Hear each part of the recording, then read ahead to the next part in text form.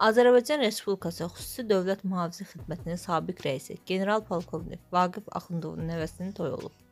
Qaynar infonun əldə etdiyi məlumata görə, Bakıdakı restoranların birində keçirilən toy mərasimində Vaqif Axundov özü də iştirak edib. General-polkovnik toyda Azərbaycan oğluyam musiqi sədaları altında nəvəsi ilə birgə rəqs edib.